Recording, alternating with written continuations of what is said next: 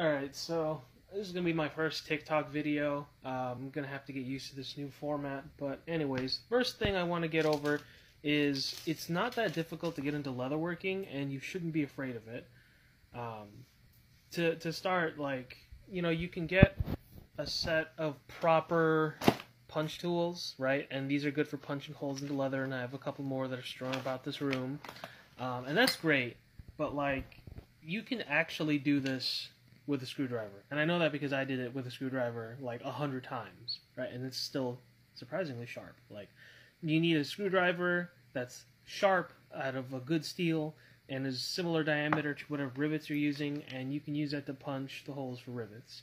Um, the advantage of using a punch is that it pushes the leather apart versus a drill, which removes material as it makes the hole, uh, but a drill is faster.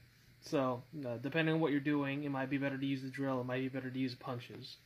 Um, the rivets you can order from Tandy Leather in like 200s, 100, something like that, large quantities, and one package will be like five bucks or something. I mean, it, the price goes up and down depending on like is it steel or this is antique brass. Um, I have a couple other ones that are like a super polished chrome steel. These ones, it's very shiny. Uh, but I felt that the antique brass would do better with the black plates, and this is actually like a red toned brown. It's hard to see in the, the lighting, but if I was outside in the sunlight, it'd be uh, a bit better than this camera can pick up if you just looked looked at it in person. Um, the base that I have, this uh, this is from a desk that someone was just giving away, right?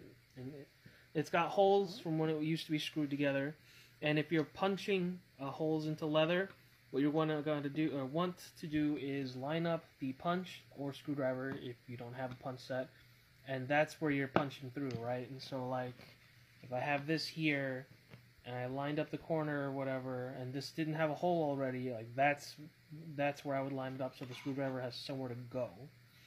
Um, but this this protects your floor, and these rivets, the way they work together, is you have a base and it's got a little peg on it and you have a little cap and you stick the cap on and then you just tap it lightly with a hammer. And like the point of me showing you all this is like you don't need specialized leatherworking tools to get started on a project. Like you have a screwdriver, you have a hammer, then really all you need is the leather. And Tandy Leather's got some pretty good deals.